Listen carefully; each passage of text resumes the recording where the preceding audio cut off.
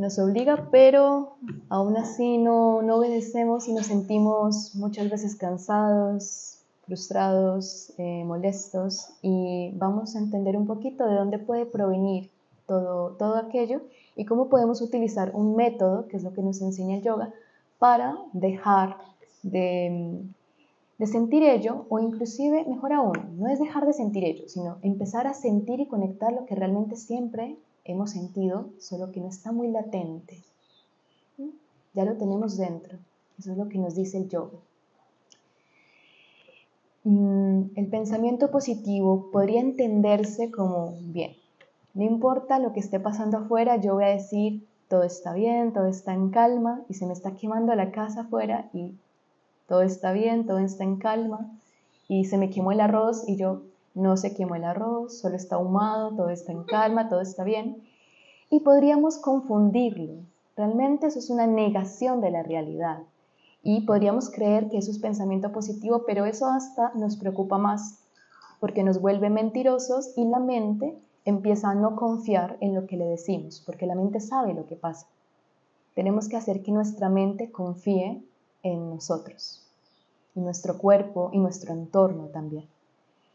El pensamiento positivo, entendido de la manera yógica, y también como lo ha eh, explicado Swami Shivananda, este conocimiento él lo, imparte, lo, comparte con nosotros, es más profundo. Tenemos que ver las cualidades de la mente, porque es la mente la que piensa que, que algo le da placer o no. Entonces cuando tú ves un brownie con chocolate, relleno de chocolate, con superficie de chocolate, y tú sientes que eso te da felicidad, yo en ningún momento he visto que una torta extienda manos, saque de su interior algo y te lo regale, te lo dé. Tú te lo comes y la felicidad te la diste tú mismo, estaba dentro de ti. Entonces, ¿por qué no lo sacaste antes? Si eso no te está dando absolutamente nada. ¿Cómo podemos sacar esta felicidad, esa dicha absoluta que ya tenemos dentro de nosotros sin desear cosas que nos pueden llegar a hacer mal, tanto a nosotros como a nuestro entorno. Entonces, la realidad que nosotros vivimos eh, y la que cada uno vive es muy diferente. De aquí después podemos hacer el ejercicio de cómo sintieron los cantos cotidianos y para algunos van a decir, wow, fue hermoso, me encantó. Para otro, aunque están en el mismo templo con los mismos cantos, escuchando a la misma persona, podría haber dicho, no, Dios mío, ¿qué es esto?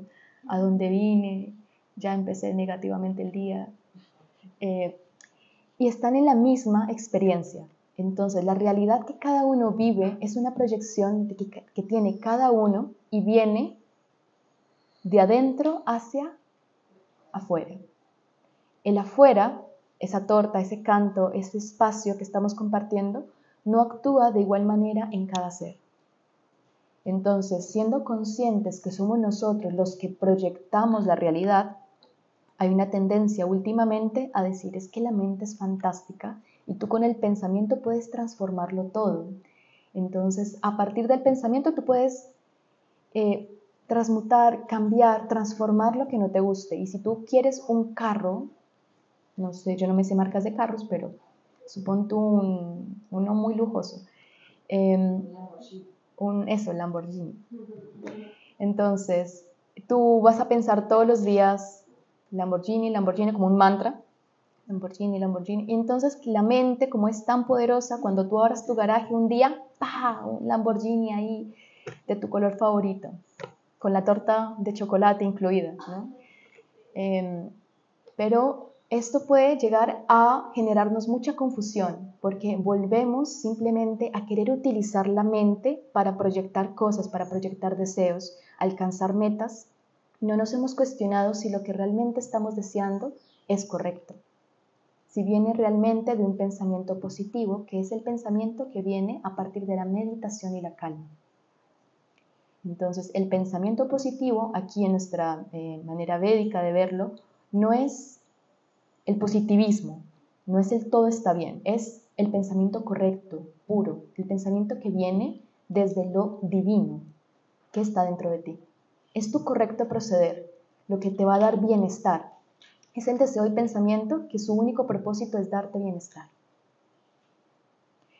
Pero, ¿por qué deseamos cosas que no nos van a dar bienestar? O si nos dan bienestar a nosotros, eh, perjudican a, a otro. Entonces, es porque tenemos impurezas en la mente.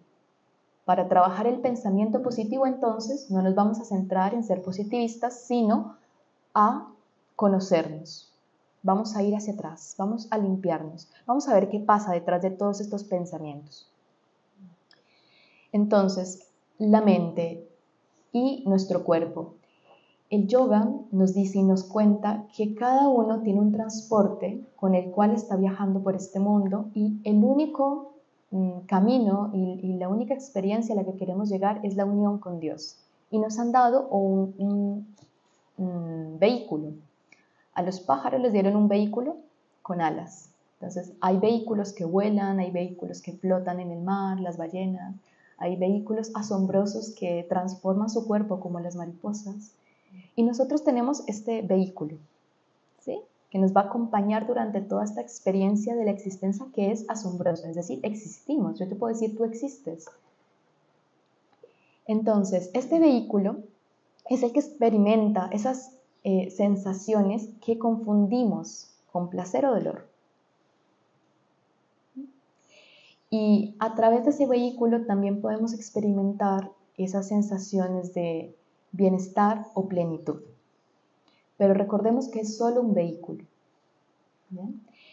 Este vehículo es manejado por la mente. La mente es el chofer. Entonces, el chofer es el que decide si la va a pasar mal o la va a pasar bien, porque si el chofer decide irse por una ruta que no es una ruta, que hay muchas piedras, que eh, hace mucho calor, porque no hay árboles, entonces vas a sufrir. Si esta, si esta mente, que es la que dirige este vehículo, empieza a tomar mejores decisiones, el viaje va a ser mucho más placentero y dichoso. Entonces el yoga te dice, mira, no te inventes más caminos, todos los caminos van a llegar. Tú lo puedes inventar, pero mira que ya existen caminos que han abierto mucho antes nuestros ancestros y que si tú te vas por esos caminos, vas a llegar, y ni siquiera vas a llegar, simplemente el viaje va a ser mucho más cómodo. Entonces, los caminos del yoga son cuatro. Y nos dicen, el primero es la acción. Son para esos vehículos y transportes que andan todo terreno y no pueden ir despacito. Son personas que necesitan la acción, necesitan hacer cosas todo el tiempo. Entonces es el camino del karma yoga, y aquí muchos estamos como karma yogi, somos alrededor de 25 ahora, es el servicio desinteresado. Y ya vamos a ver por qué es muy importante el servicio desinteresado. Entonces, un camino que tú puedes recorrer con tu cuerpo es ese. Otro camino que puedes recorrer es el del Bhakti Yoga. No es para que lo memoricemos, solo para mencionar la palabra es muy linda cómo se siente. Bhakti Yoga es la devoción, pero lo podemos repetir. Bhakti Yoga. El yoga te dice, mira que hay un camino de la devoción. Si tú en este momento, hoy, te sentiste cansado, te duele algo, tú puedes seguir haciendo yoga. Eso también es yoga. Yoga no solamente estar en un mat parándote de cabeza, sino que el bhakti, la devoción, también es otra manera de hacer yoga. Y son para las personas que les encanta estar, hay la hojita, iban para su clase de yoga y se distrajeron porque había un pajarito y ay, qué lindo y se quedan viendo el pajarito y cantándole al pajarito. Y sí, eso es el yoga también, es la devoción, es el amor hacia lo que está allá y lo representan haciendo altares, cositas, son muy artistas. Entonces ya tienes ese camino. Otro camino es el Raya Yoga. vamos a repetir, Raya Yoga. Y el Raya Yoga es el camino de la meditación. En este camino es donde encontramos a los que se paran de cabeza, que realmente la postura más difícil de yoga, ¿cuál creen que sea? Shavasana, dicen por ahí. Shavasana, después lo van a ver, es cuando uno está tumbado. Sukhasana es esta postura.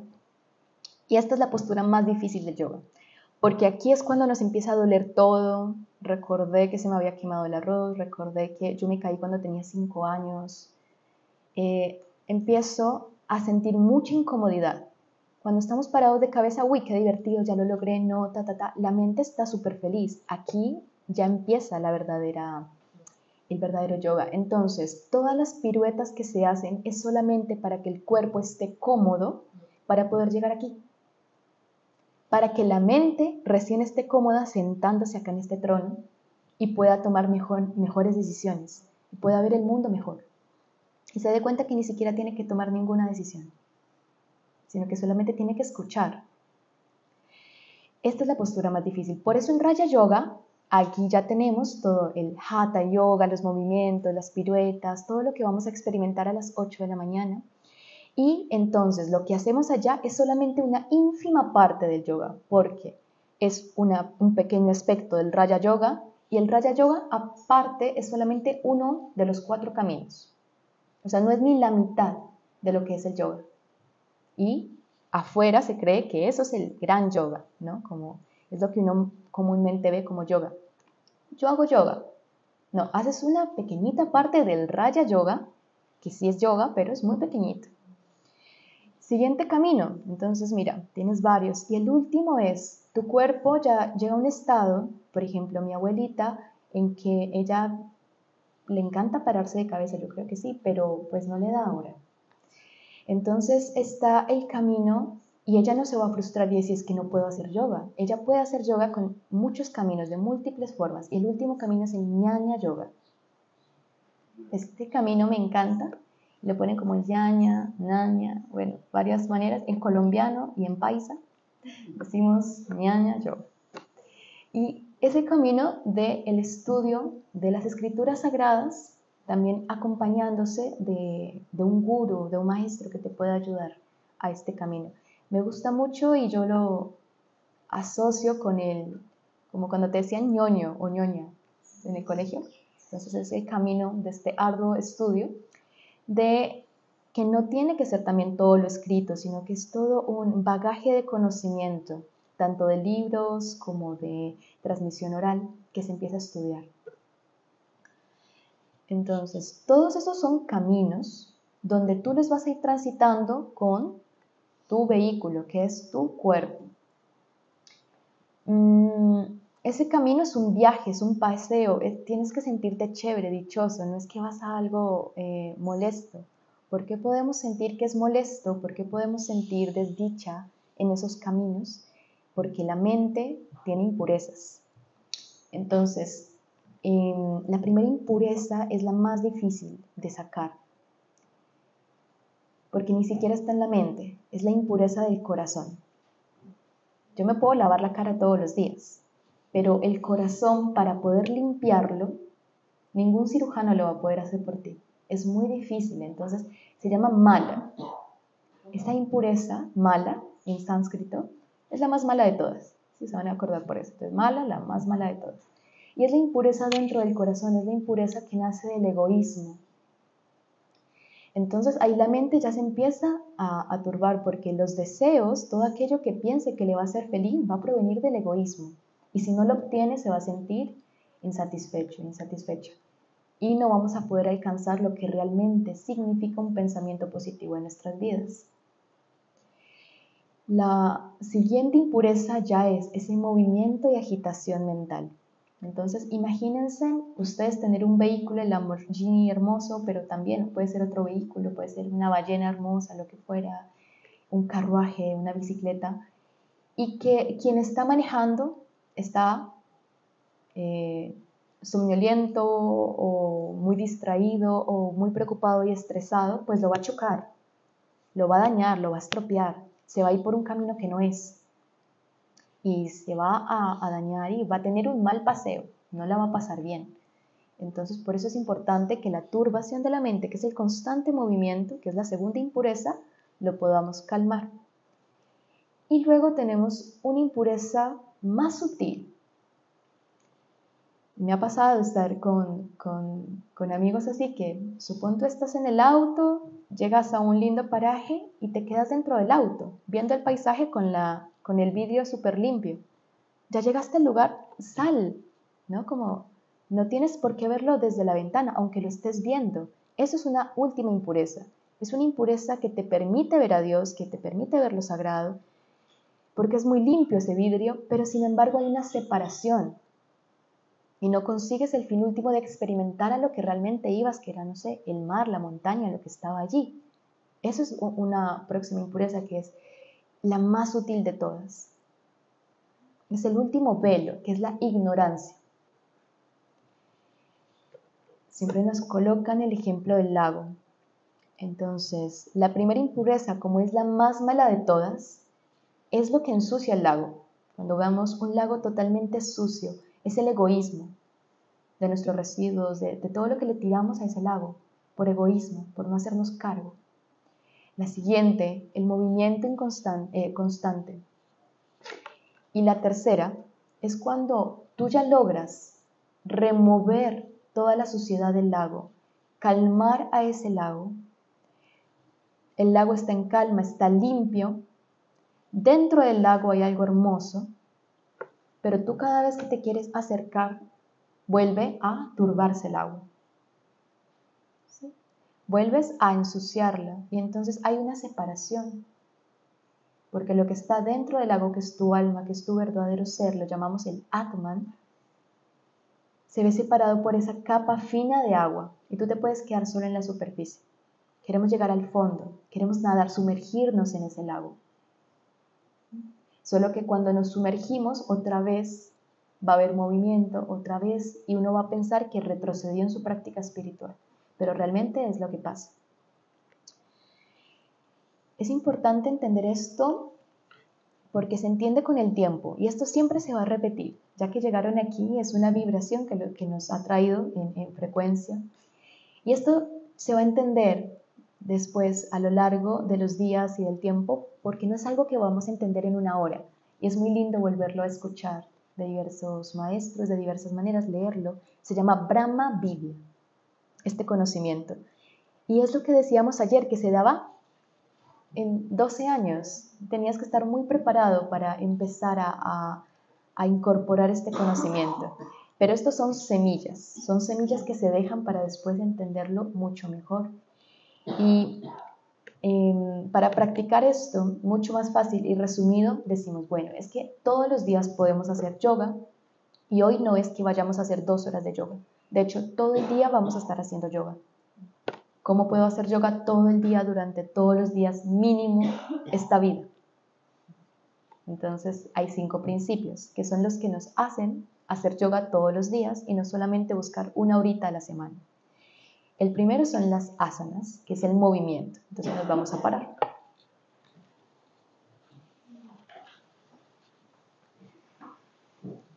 Nos vamos a mover y vamos a experimentar este principio tan importante para la vida, que es aprecia tu cuerpo, muévete articulaciones, movimiento, postura, y esto ya se siente bien. Muchas veces en la vida estamos así, sentados esperando a que algo cambie. Pero cuando nos movemos, cuando valoramos el cuerpo, ya sentimos el cambio. Y cuando respiramos profundo, inhalamos. Profundo y exhalamos. Ah, exhala lento. Una vez más, inhala. Exhala lento. Última vez, aprovecha. Y exhala. Y ya hubo un gran cambio tan solo en nuestro día. Imagínense en la vida, si lo hacemos diariamente. Si nos quedamos aquí durante el resto del satsang, ya después nos va a cansar. Por más de que nos estemos moviendo y respirando, llega un momento en que el cuerpo mismo ya dice, uh, necesito descanso. Vamos a aprovechar ahora para movernos muévanse como quieran, quieren pueden caminar un ratico por ahí, puntitas de pies es muy rico también, tropezarse, pueden empujar un poquito al de al lado también. Y luego Shavasana, que sería descanso, es decir, nos volvemos a sentar, es el tercer principio. Entonces, primer principio, asanas, luego pranayamas, que es la respiración, movimiento, respiración y importante descanso. Y el descanso nos lo han hecho entender como una pérdida de tiempo. Mira qué rico se siente haberse levantado y luego volverse a sentar.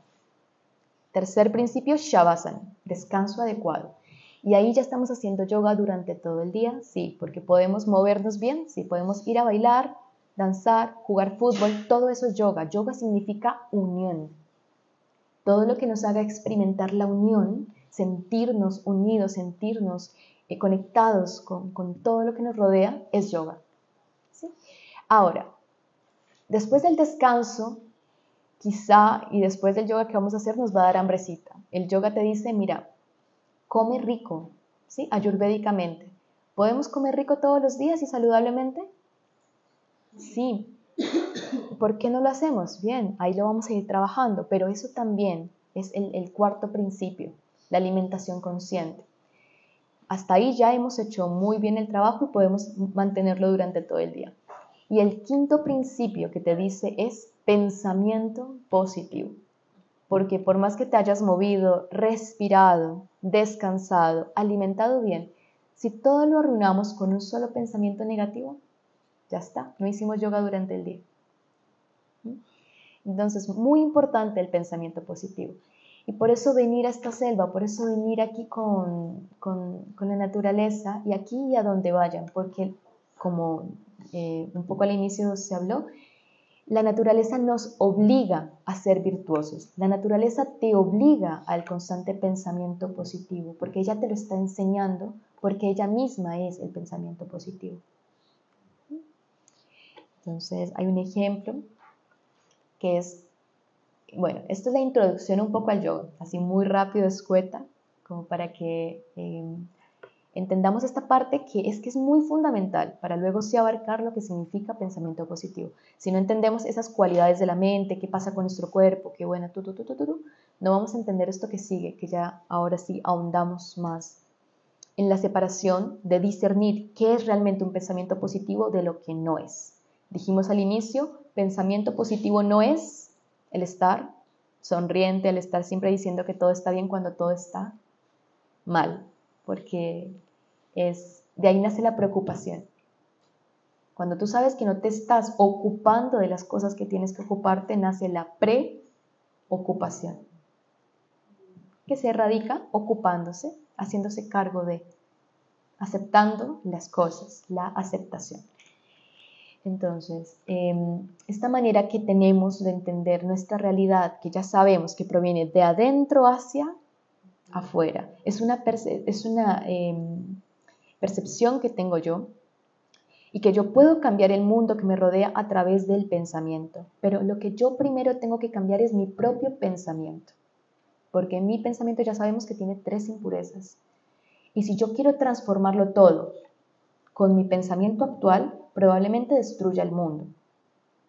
Entonces yo lo que necesito es primero modificar esa cualidad de la mente, limpiarla con la pureza que se limpia por esos cuatro caminos del yoga, para realmente lo que yo de ahí manifiesta hacia afuera tenga mucha más calma y bienestar hacia todos los seres, hacia mí mismo.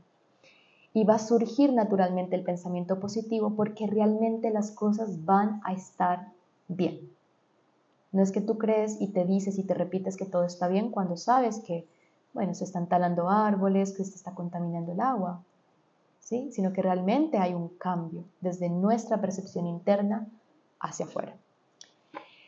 Em, hay ejercicios que lo hacen normalmente con una lapicera, yo lo voy a hacer con esta hojita, pero el poder de la mente es asombroso y hay un ejercicio que es que con la fuerza de voluntad y la proyección que tenemos de la mente, esta hoja se puede transformar en algo que querramos. Es decir, una lechuga. ¿A todos les gusta la lechuga? Sí. Porque si no, no se va a transformar en lechuga. Tiene que ser algo que nos guste a todos. Eh, imaginemos otra cosa. Porque yo vi algunas caritas. ¿ah? Un brownie, bueno. es un brownie. Eh, vamos a contemplar esto como una bandeja y es una bandeja, bueno, por el momento es una hoja, pero se va a convertir en una bandeja con un brownie. Entonces vamos a cerrar los ojos. Lo tienen que desear bastante y van a sentir el sabor del brownie. Y la mente es tan poderosa que siente el olor proveniente de esta bandeja, que ya se siente pesada en mi mano. y sientes esas chispas de chocolate volando en el ambiente, todos con mucha intención y proyección y fuerza vamos a mandar pensamientos para que se convierta realmente en una bandeja con un brownie. En la 1, 2, 3, abrimos los ojos. ¿Quién vio un brownie? ¿Se convirtió en un brownie? No, por el momento no. Entonces, el yoga lo que nos enseña es eso. Podríamos estar haciendo este ejercicio constantemente porque hay videos así en YouTube y demás cositas. Lo puedes seguir haciendo porque quizás sí también puede pasar, pero mira que va a costar más tiempo. Creo que resuelve más el que tú veas por qué quieres un brownie, por qué piensas que ahí está la felicidad y más bien transformar eso que sí es posible de manera muy inmediata. Entonces, para yo realmente ver lo que, lo que yo deseo internamente afuera en el mundo, lo puedo crear desde el pensamiento, pero tengo que sembrar, sembrarlo correctamente.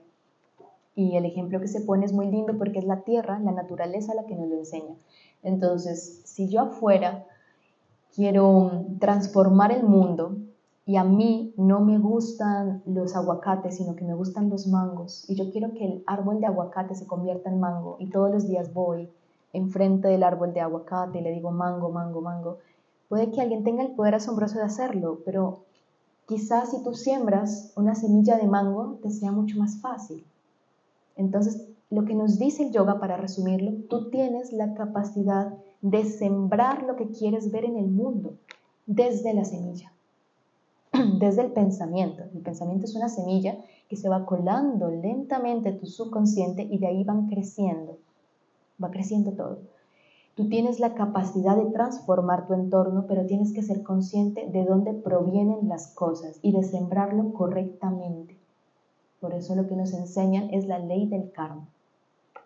Para tener un pensamiento positivo, para poder transformar positivamente tu entorno, tienes que entender cómo sembrar cómo sembrar lo que realmente tú quieres para tu vida, más allá de transformar lo que ya existe, porque te vas a desgastar. La mente tiene un poder asombroso, sepámoslo utilizar. Entonces, si tú quieres ver felicidad en el mundo, ¿qué necesitamos sembrar? Felicidad. No es que te va a llegar la felicidad de repente. Tú primero lo tienes que proveer. Porque si tú quieres comer mango, te puedes quedar sentado esperando a que venga un mango o realmente puedes sembrar. ¿sí? La semilla viene primero. Y cuando tú siembras la semilla del mango, es una semilla, no es un mango. Tú no lo reconoces qué es eso. Entonces hay pequeñas acciones en nuestro cotidiano que no se ven como lo que realmente después nos va a dar. Em, tenemos semillas que quizá no conozcamos, por ejemplo, em, está la semilla de la mostaza que es muy chiquita y quizá nosotros no reconozcamos en algo tan pequeño que es la mostaza, pero me encanta quizá la, la salsita de mostaza. El caso es de que yo puede que esté sembrando esas semillas sin darme cuenta porque las voy tirando en el camino y gracias a eso hay alguien que las recoge, por allá hace una salsa de mostaza y luego me la vende. Hay cosas que hacemos y no nos damos cuenta que realmente después se regresan a nosotros.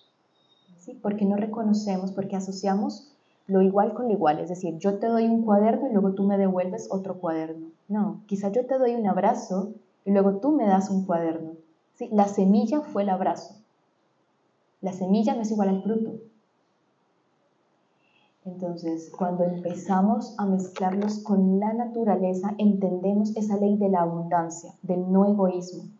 La naturaleza no tiene esa eh, impureza de egoísmo en su corazón. Ella da y multiplica exponencialmente, ¿sí? Todo el tiempo, todo el tiempo está haciéndolo. Entonces, hay semillas muy especiales que uno empieza a reconocer y y sí es un poco como, como un, método, porque tú dices, ah, cuando yo hago esto, pasa esto. Pero también en la naturaleza lo que nos enseña es, tú pones una semilla, no todas las semillas germinan inmediatamente. La semilla de la lenteja, por ejemplo, germina a los dos días, ya la ves con su radícula, así con su, con su colita. Pero hay semillas que les tarda un mes. Entonces, hay cosas que tú estás sembrando hoy, pero no las vas a ver germinar mañana. Les tarda tiempo. Y aunque germinen para que se vuelvan un árbol y te den ese fruto, va a tardar aún más tiempo. Por eso la importancia de saber esa ley del karma. Lo que tú estás sembrando actualmente es lo que tú vas a cosechar en un futuro. Y lo que tú estás ahora mismo cosechando proviene de lo que sembraste en el pasado. Solo que somos muy inmediatos. Yo quiero cambiar ya, hoy mismo, mi realidad, ya mismo. Pero es que las semillas que sembraste antes son lo que está creciendo. Pero tienes el poder ahora, inmediatamente, de sembrar cosas nuevas, como lo que estamos haciendo aquí, venir a este ashram, venir a sembrar en ti el brahmavidya, el yoga, el comer. Por unos días algo diferente, el relacionarte con alguien que no conocías. Eso ya son semillas kármicas. Por eso la ley del karma es tan hermosa y profundamente relacionada con la naturaleza, porque así funciona ella. Estás sembrando una, una semilla. Entonces, ¿qué semilla quisieras sembrar eh, para generar lo que tú quieres en tu vida? Ese es el estudio que cada uno se va a hacer durante el día de hoy. Yo que quiero ver en mi vida, ser muy consciente de lo que realmente quiero y empezar a sembrar la semilla de la que van a hacer eso. Eso se hace con la contemplación recordando entonces que lo que deseamos no es el objeto en sí mismo, no es la, la, la, proyección material en sí misma, sino que detrás de ello hay algo más profundo. ¿Por qué pedimos deseos? ¿Quién, quién cree? Pero se están dispersando, pensé que iba a opinar. porque queremos algo, porque pensamos que nos va a hacer felices. ¿Y por qué no pedimos entonces la felicidad? Si tú quieres ser feliz, ¿por qué hacemos todo un, un eslabón de cadenas? No, bueno, yo necesito una piñata con forma de piña, porque cuando yo la rompa voy a ser feliz. Entonces le voy a pedir a Dios esa piñata con forma de piña. Pero ¿por qué no le pido a Dios inmediatamente felicidad? ¿No me ahorraría trabajo y esfuerzo? Entonces Shivananda eh, nos enseña eso, como que él es un ser que dice, bueno, mira, no pidas las cosas, pide lo que crees que te va a producir las cosas. Si tú quieres calma en tu vida, no esperes a decir, no, es que hasta que tenga eh, un terreno y una comunidad y todos cantemos y bailemos desnudos, voy a tener calma. ¿no? Pide calma, pide y siembra calma. Y ya puedes quizás sentir que en tu mente pasa algo diferente, porque ya no sientes frustración, eh, porque hay una parte más sincera contigo mismo. Entonces, la tarea hoy es, y vamos a tener un fuego en la noche muy hermoso, en el fuego todo se ilumina y se transforma. En ese, en ese espacio que tengan para ir al río, para estar con ustedes, pregúntense realmente qué quiero, qué quiero experimentar, qué quiero sentir y no qué objeto deseo, no qué cosa creo yo que me lo va a hacer sentir. Lo van a pedir, lo van a sentir, si es felicidad, calma, paz, sabiduría, amor, que es por lo que tanto sufre el ser humano, por desamores, por eso las películas y las novelas siempre alguien se enamora y si no, no tiene éxito la película. Si alguien no se enamora en la película, ¿quién la ve? El amor. ¿Y por qué nos da vergüenza pedir amor? Si quieres experimentarlo, en vez de pedir el príncipe o princesa azul, morada, multicolor, arcoíris, pide amor. Y de a poco vas a ir reconociendo la semilla que lo va a ir sembrando. Entonces la tarea hoy es eso. ¿Qué semillas van a sembrar? Bien, toda una lista completa. Y ejercicio cuando estén caminando por la selva. Reconozcan las diferentes semillas que hay, porque no todas son iguales. Entonces tú ves una flor y a veces en cada pétalo hay una semilla. o ese pompón hermoso del diente de león, cada uno de esos pompones lindos que uno sopla y pide un deseo, cada uno de ellos es una semilla. Hay pequeñas cositas que parecen tierra y chiquititas y son semillas. Entonces, el saber reconocer eso en la selva, en la naturaleza, todo lo que está creciendo constantemente y que nos podemos alimentar ahora, porque hace seis meses alguien sembró alimento, cuando comamos, eso también va a hacer y transformar tu pensamiento positivamente. Hay una ley de abundancia, hay una ley que ordena todo. Y ya ahí transformamos el pensamiento. Entonces, hoy es una constante búsqueda por la selva, por el río, y ojalá en el fuego puedan llevar lo que hayan escrito y también las semillas que hayan encontrado y reconocido tanto en ustedes como en lo que los rodea, porque ahí está una abundancia infinita. Bien, hasta aquí, ¿alguien tiene alguna duda, algún aporte también, si quiere hablar, decir algo? inclusive es como todo lo sembramos nosotros, como estamos en la inacción, y el yoga no es inacción y quedarse meditando, de hecho, el yoga es la inacción pero en la acción. Em, que eso ya es un poquito más complejo, pero lo que dice Cami es muy lindo y tú siembra, tú siembras lo que quieres, pero pídele que crezca bonito, riégalo, pide que llueva, ¿sí? Pero tú, si quieres mangos, no pidas que te lleguen mangos porque de ahí ya vas a sentir una culpa de dónde proviene esto, una desconexión absoluta. Siembra mango y pide que llueva, y pide que crezca bonito, y pide que otros también siembren mangos, ¿no? Como sería bonito. Bueno, entonces cerramos con el Trayambakam, dice. Mantra final. Ah, los anuncios. Yo no sé por qué le rubro tanto los anuncios, que no, no quería ser presentadora de... Ya, el, ya, el 9 va a ser... Ah, me encanta, sí. El 9 justo vamos a tener un retiro de germinados. Entonces vamos no solo a aprender la técnica de cómo germinar e incorporarlo en nuestra alimentación diaria, sino que es todo un proceso de germinarse en, ese, en, ese, en estos días que vamos a estar. Entonces, retiro de germinados y en ese mismo retiro vamos a tener retiro de Dharma, que es cómo encontrar, entender el Dharma general, que es el propósito más elevado de todos, más, más hermoso, y también el tuyo, el Swadharma. ¿Cuál es tu propósito y vocación personal y cómo la puedes poner en práctica.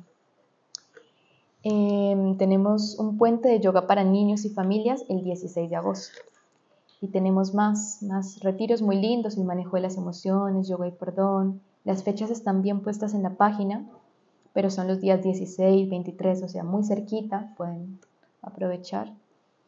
Y muy importante, si quieren vivir 21 días con nosotros, el profesorado de septiembre, que es sumergirse en la selva nos levantamos todos juntos, dormimos, comemos, lavamos, todo, todo lo hacemos juntos, 21 días aquí. Eh, y es muy, muy profundo y hermoso. Vengan, por favor. Ya, ahora sí. Traigan para acá. Oh.